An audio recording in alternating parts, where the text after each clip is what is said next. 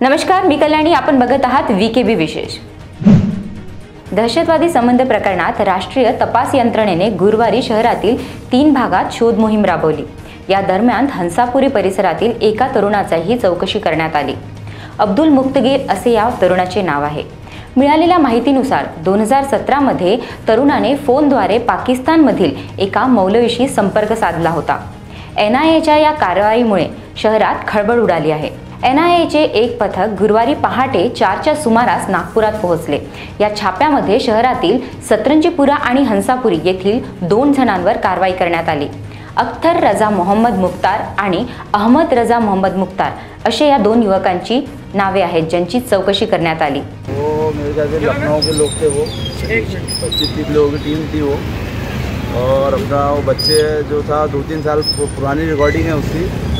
तो रिकॉर्डिंग में वो मौलाना से रमज़ान के महीने में कुछ कुछ मतलब कुछ सवाल सवाल करने के लिए उन्होंने कुछ पाकिस्तान के मौलाना से पूछा था उनने। वो मौलाना भी जो है वो ऐसा वो नहीं है।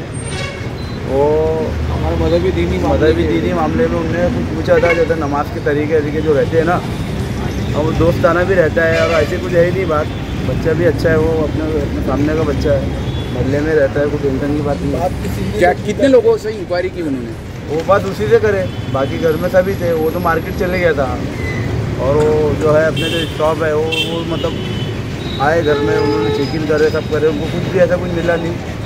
जो ऐसी परेशानी वाली बात होगी बच्चे ने हालाँकि नहीं करना था क्योंकि अपना अपना अपना देश है यहाँ यहाँ के मौलाना से पूछना चाहिए था उनने। बाकी ऐसा कुछ कितने लोग आए थे? बीस इक्कीस लोग की टीम थी क्या नाम था उनका? कौन से कौन से डिपार्टमेंट से कुछ जान लखनऊ के थे वो अलग ही टाइप के दिख रहे थे वो। मतलब हमारे भी समझ में नहीं आया वो अपन काहे के लिए ज़्यादा जिक्र में रहते किस किसके यहाँ इंक्वायरी की उसका नाम क्या है? सिर्फ उसी के हुई। नहीं, क्या- क्या नाम? क्या है? अब्दुल मुक्तदिर। अब्दुल मुक्तदिर। क्या करता है वो? उस रोड का काम है। या लोकांचा पाकिस्तानात बसलेल्या काही लोकांशी संपर्क होता.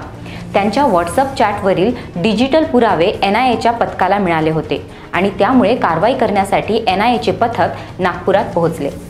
या लोकांच्या इस्लामिक रिसर्च फाउंडेशन या प्रतिबंधित संघटनेच्या जाकीर नायकच्या संघटनेशी संबंध असल्याची चर्चा आहे. एन आय एच्या छाप्यानंतर नागपूर शहरात भीती पसरली होती. मात्र दोन्ही ठिकाणी कडक पोलीस बंदोबस्त ठेवण्यात आलेला आहे. एन आय एने केलेल्या कारवायाबद्दल सध्या तरी अधिकृत माहिती देण्यात आलेली नाही. मुद्दे के लिए उनसे फ़ोन फ़ोन पे जो भी बात किया था वो किया था।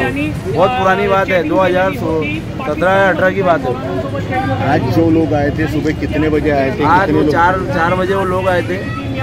उसको मतलब घर में ही मिला वो। घर में चेकिंग हुई सब हुई उनको कुछ ऐसा कुछ मिला नहीं। कुछ ऐसा मिलने की तो बात छोड़ो ऐसा लड़का भी नहीं है वो। सब हमारे सामने बड़ा हुआ है वो। हाँ, सत्रह साल का था उस टाइम पे वो। अशाच विशेष बातम्यासाठी बघत रहा व्ही के बी डिजिटल नमस्कार.